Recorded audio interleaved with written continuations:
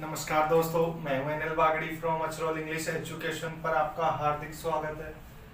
तो हम पिछली क्लासेस में कुछ बात कर रहे थे बीए थर्ड ईयर का जो इंग्लिश लिटरेचर की बात कर रहे थे हम, उसमें जीएम हॉपकिंस यानी ग्रांड एनएली हॉपकिंस उसका इंट्रोडक्शन हमने कर लिया।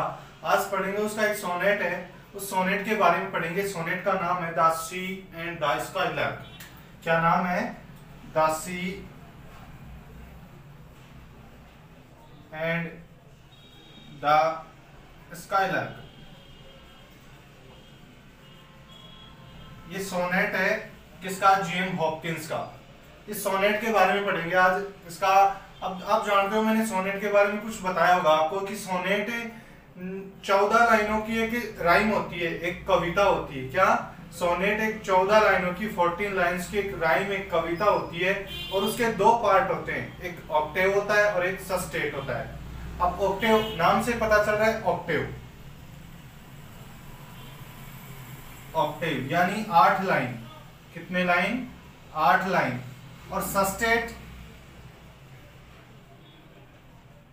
सस्टेट इससे भी पता चल रहा है छह लाइन यानी आठ और छह लाइन कितने हो गई? चौदह लाइन। यानी जो सोनेट होता है, इंग्लिश लिटरेचर में जो है कि लिटरेरी टर्म्स है आपके सोनेट। अब सोनेट दो, इसमें दो पार्ट होते हैं, एक होता है ऑक्टेव और एक होता है सस्टेट तो जो प्रथम आठ लाइनें होती है फ़र्स्ट जो एट लाइंस होती है, उन्हें कहते हैं ऑक्टेव जो आठ लाइंस का होता है, और जो लास्ट की जो छह लाइनें होती है, उसको कहा जाता है सस्टेट जो छह लाइंस की। ठीक है? इन ये दो पार्टों में विभाजित है। जीएम हॉपकिंस का जो सोनेट है द स्काई यहाँ लिख देता हूँ मैं। The sky and the skylark oh sorry. The sea. The sea and the skylark ये नाम है इसका। तो जेम हॉपकिंस का है जो the sea and the skylight ये चौदह लाइनों का है। सोनेट आप जानते हो चौदह लाइनों को। उसमें जो फ़र्स्ट जो आठ लाइनें हैं, उन्हें ऑक्टेव कहा जाता है और लास्ट की जो छह लाइनें उसे सस्टेट तो मैं सबसे पहले ये आठ लाइनें ऑक्टेव की बात कर रहा हूँ, यानी सोनेट का जो ऑक्टेव है, उसकी प्रथम आठ लाइनें उसकी बात कर रहा हूँ मैं। तो उसमें दो, देखो ऑक्टेव में तो एक सी यानी समुद्र और एक स्काईलर एक पक्षी का नाम है। जो समुद्र पर उड़ता है, उसके चक्कर लगाता है चारों तरफ़, उस पर बार बार मंडराता रहता है। उस स्काईलर पक्षी और इस समुद्र के बीच में जो बातचीत होती है, उसे कंपेयर करता है। इस सी और स्काईलर के बीच में जीएम हॉपकिंस क्या करता है? कंपेयर करता है कि जिस प्रकार समुद्र, यानी सेम कंडीशन अप्लाई करता है दोनों पे, जिस प्रकार समुद्र सी की जो एक्टिविटीज़ होती है, उसी प्रकार किसकी होती है इस स्काईलर पक्षी की। ये किसमें दर्शाया गया इस ऑक्टेव में दर्शाया गया। अब बात करें सस्टेव की, कि सस्टेव में इन दोनों की, इस सी की जो, दोनों की नहीं सी की जो एक्टिविटीज़ है, वो मानव की, किसकी? मानव की मन स्थिति, यानी मन के अंदर क्या चल रहा है, उसके बारे में बात करेगा ये नेक्स्ट जो होगा आगे आगे बात करेंगे सस्टेट में। तो सबसे पहले देखते आइए, देखो, कि on ear and ear two noises too old to end और इसको कि on ear and ear two noises too old to end कि कवि जेम हॉपकिंस ने कहा कि on ear and ear two noises too old to end कि जब वो समुद्र पर जाता है, किस पर? समुद्र पर जाता है तो दो प्रकार की आवाज़ें सुनता है। कितने प्रकार की? दो प्रकार की। टू यानी दो प्रकार की आवाज़ें सुनता है।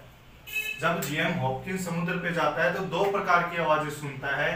नोइसेस आवाज़ें टू ऑल्ड टू एंड अब वो आवाज़ें इस प्रकार की आती है कि वो आवाज़ें मन, उस जीएम हॉपकिंस की, क्या मन स्थिति को या मन को इतना विचलित कर देती है या इस संसार को क्या पतन अवस्था की ओर ले जाने का कार्य करती है, ऐसी आवाज़ें वो मानता है। बहुत प्राचीन बताता है उन आवाजों को। बिल्कुल अतीत के बारे में बताता है कि too through old to end यानी वो किसी का अंत कर रही हो थ्रू ऑल्ड टू एंड यानी अंतिम, बहुत प्राचीन समय की बात करता है वो, कि उनसे कंपेयर करता है उस आवाजों को, दोनों को। ट्रेंच राइट अब यहाँ पे ट्रेंच का अर्थ समुद्र होगा। क्या होगा? समुद्र। ट्रेंच का अर्थ क्या होगा? समुद्र की। इस समुद्र के दाई और राइट साइड के अंदर, इस समुद्र के दाई और the tide that rams against the shore क्यों? कर अब टाइड का जो हमने पिछली मैथ्यू और नर्ड की जो पढ़ी थी, उसमें टाइड ज्वार। टाइड का अर्थ क्या? ज्वार की that ram rams against the shore और इस शोरे की भी बात की थी, यानी किनारा या तट। किनारा या तट। शोरे का अर्थ क्या बताया था? किनारा या तट। कि ट्रेंच राइट की समुद्र के दाई और द टाइड ज्वार आता है। That rams against the shore और उस किनारे के पास, जैसे ही शौर्य किनारे के पास ज्वार आता है, वो वापस चला जाते हैं। उसे टच करके वापस चला जाता है विद ए फ्लड और फॉल ये क्रिया फ्लड और फॉल फ्लड और फॉल यानी वो क्रिया बार बार होती है। फ्लड आना और फॉल का अर्थ गिरना होता है वैसे। क्या? गिरना। यानी गिरने का अर्थ होगा यहाँ पे जाना, वापस जाना। कि फ्लड आता है और वापस चला जाता है। ये क्रिया क्या होती है? बार बार होती है। कि that rams against the shore किनारे के विरोध में वो टाइड आता है, यानी जैसे यहाँ किनारा हो तो उसके विपरीत दिशा में वो ज्वार आता है और आके फिर क्या करता है, वापस चला जाता है। तो इस ये है क्रिया फ्लड और फॉल ये क्रिया बार बार क्या होती है रिवाइज होती है। लो लल ऑफ़ और ऑल रोअर और ये क्या सभी रोअर यानी अब रोअर गर्जना होगी, अब यहाँ गर्जना नहीं होगी, क्योंकि यहाँ कवि कह रहा है पोइट जेम हॉपकिंस कह रहे हैं कि यार रोवर नहीं होगी आवाज़, गर्जना नहीं कर सकता। लेकिन वो उसका जो मन है ना जेम हॉपकिंस का, वो बिल्कुल ऐसा लगता है कि जो ये संसार है, बिल्कुल पतन अवस्था पे है, बिल्कुल यानी नष्ट होने वाला ऐसी बात करता है कि लो लल ऑफ़ और ऑल रोवर की इस गर्जना के साथ या इस कंपेयर जो मैं तुलना कर रहा हूँ, उसके साथ ही संसार का क्या हो जाएगा, नष्ट हो जाएगा, पतन हो जाएगा। फ्रिक frequenting these while moon shall wear and wane वो कह रहा है कि फ्रिक्वेंटिंग जो ये लगातार क्रिया होती है, क्या? जो फ्लड और फॉल जो क्रिया होती है लगातार फ्रिक्वेंटिंग का अर्थ है लगातार। यानी जो लगातार क्रिया होती है ना, किसकी? ये ज्वार आने की और जाने की, ज्वार आया, बांटा गया। तो ये क्रिया क्या करती है? दीज वाइल मून शेल कि जब चंद्रमा, क्योंकि आप सब जानते हो, यदि ज्योग्राफी के कोई स्टूडेंट हो तो आप जानते हो कि जो चंद्रमा का जो समय होता है, यानी पूर्णमासी का जो पीरियड होता है, उसके अंदर ही ज्वार आता है। क्योंकि ये कनेक्शन होता है। ज्वार और चंद्रमा के बीच एक कनेक्शन होता है कि तरंगों को खींचने का। तो उसे चीज़ को लेकर के आप बताया कि वाइल्ड मून ये जब ही आता है, जब चंद्रमा आकाश में दिखता हो या पूर्णमासी की रात हो, तब ही ये ज्वार आता है शेल वियर एंड वैंड कि वो कह रहा है कि शेल वियर वियर का पहनना। अब यहाँ पहनना नहीं होगा, ज्वार आना वैंड यानी जाना। ये तभी क्रिया होगी जब ये चंद्रमा दिखेगा आकाश में, तभी ये क्रिया समाप्त होगी, ये क्रिया गठित होगी, ये क्रिया होगी। Left hand on land I hear the lark ascend और इसी के समान, अब वो कह रहा है कि लेफ़्ट हैंड दूसरी तरफ़ की बात करूँ मैं तो ऑफ़ लैंड उस जगह पर I hear the lark ascend कि मैं अब जैसे ही वो, उसकी बात कर ली इसने इस समुद्र के जो ज्वार आया समुद्र पे, उसकी बात कर लिया। इसकी कंपेयर कर रहा है वो स्काई लर्क पक्षी की की बात कर रहा है कि जिस प्रकार ये ज्वार का आना और जाना रहता है, उसी प्रकार जो समुद्र के ऊपर जो पक्षी लहरा रहा है, पक्षी मंडरा रहा है, कौन? स्काई लर्क वो भी इसी प्रकार मंडराता है। कभी ऊपर आता है, कभी नीचे जाता है। कभी ऊपर आता है, कभी नीचे जाता है। तो ये क्रिया जेम हॉपकिंस के मन की स्थिति को या संसार में जो संसार की जो मन स्थिति है, जनता या लोग हैं वहाँ पे रहने वाले, उनकी मन स्थिति है, उनमें भी दुखों का जो आना और जाना चला रहता है, उसको लेकर वो कंपेयर कर रहा है कि यदि व्यक्तियों के मन की जो दुख है, वो भी ऐसे आते जाते रहते हैं। जिस प्रकार वो स्काईलर पक्षी बार बार कभी शिकार करने के लिए नीचे आता है, फिर वापस, कुछ ऊंचाई पर वापस चला जाता है, फिर नीचे आता है, ऐसी स्थिति को वो कंपेयर कर रहा है। तो बात करें हम आगे तो बहुत ही शानदार सोनेट है। अब ये जो आवाज़ें हैं, ये अब फिर कह रहा है कि his rest fresh rewinded new skinned score कि his rest fresh rewinded new skin score अब जो इस स्काइलर्क पक्षी है। अब इसकी आवाज़ सुनता है वो कि हिज रेस्ट फ्रेश उसकी जो आवाज़ें जो गाना गाता है, यानी रिफ्रेश रिवाइंडेड जो वो अब वहाँ जाके क्या करता है, वो गाना गाता है। वो गाना भी इस प्रकार होता है कि जैसे रिवाइंडेड जिस प्रकार के इतना टिपिकल होता है, फिर भी वो आसानी से, बिल्कुल क्रम गति चलते हुए, फिर वो ऊपर जाता है, सांस भरता है, फिर सांस छोड़ता है, लेकिन वो गाने की जो गति है, जो सॉन्ग की जो गति है, वो रुकती नहीं है। जब भी वो ऊपर जाता है, गाने की लय भी वही रहती है, उसका रिदम भी वही रहता है। लेकिन क्या होता है कि न्यू स्किल डिस्कवरी ये उसकी क्या नया नया गाना गाता रहता है वो, और उसी गाने को क्या करता है रिपीट करता है। In crisps of cruel of wild winch whirl and pour and pelt music till none's to spill nor spend अब वो कह रहा है, कौन? जेम हॉपकिंस कवि कह रहे हैं कि इन क्रिप्स ऑफ़ क्रूर, कि वो गाना इस प्रकार होता है, जो स्काईलार्क पक्षी गाता है गाना, वो इस प्रकार का होता है कि जिस प्रकार, कि वाइल्ड विंच व्रिल कि जिस प्रकार एक भेड़ का, भेड़ की जो ऊन होती है, उसमें घुंडीदार जो गुंडी बन जाती है, यानी एक सर्किल बन जाता है ऊन के अंदर, उस प्रकार का गाना है। इतना कठिन है, उसकी लय इतनी कठिन है, फिर भी वो क्या करता है? आसानी से उस गाने को गाता है, कभी ऊपर आता है, फिर यानी ऊपर नीचे आता है तो भी वो गाता हुआ आता है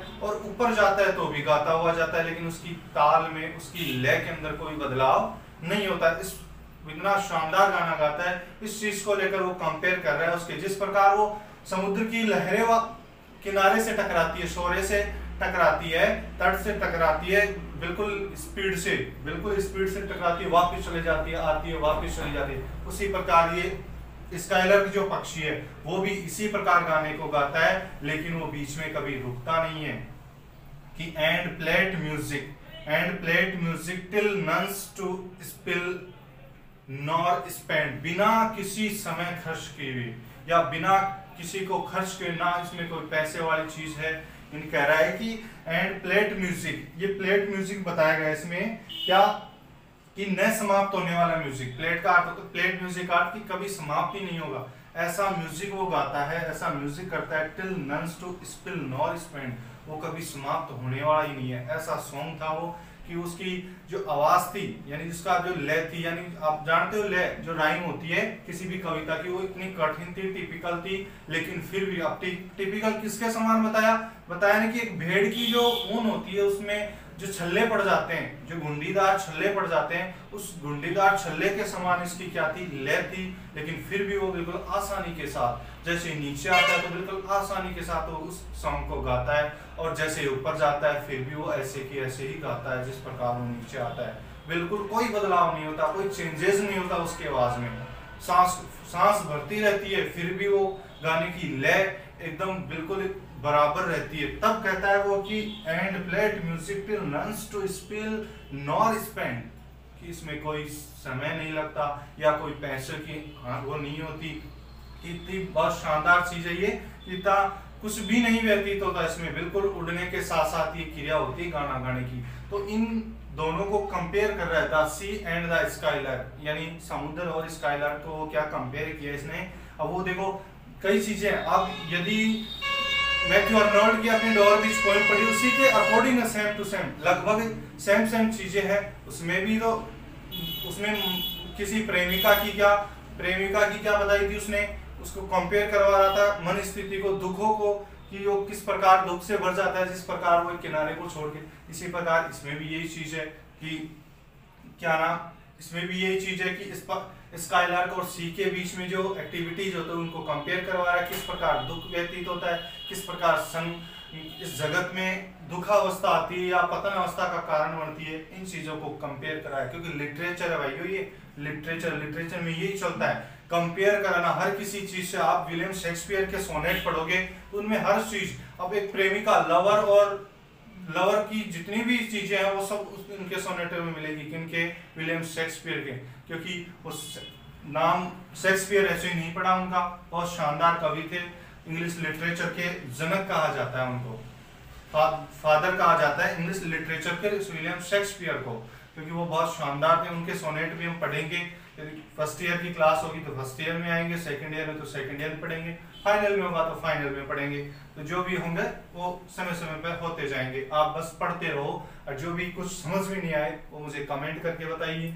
नई कुछ और नई टेक्निक लाए, वैसे तो मैं आशा करता हूँ कि समझ में आ रहा होगा आपके कि जो ये मैं जो लिख रहा हूँ, जो आंकड़े मैं आपके सामने प्रस्तुत करता हूँ, वो समझ में आ रहे हैं या नहीं आ रहे, या आप तय करते हो। लेकिन यदि आप खुद नहीं पढ़ पाते, यानी आप क्लास को देखते हो, बस छोड़ देते हो, लेकिन बार बार रिवाइज कीजिएगा।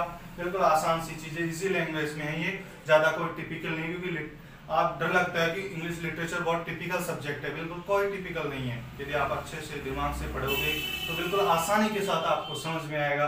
तो ये थी आज की क्लास अब इसका अगला जो पार्ट है सस्टेट ऑक्टेव मैंने करवा दिया। जो सस्टेट जो पार्ट है, वो नेक्स्ट क्लासेस में मैं लेके आऊँगा। तो जुड़े रहिए जब तक मेरे साथ। मैं हूँ नमस्कार।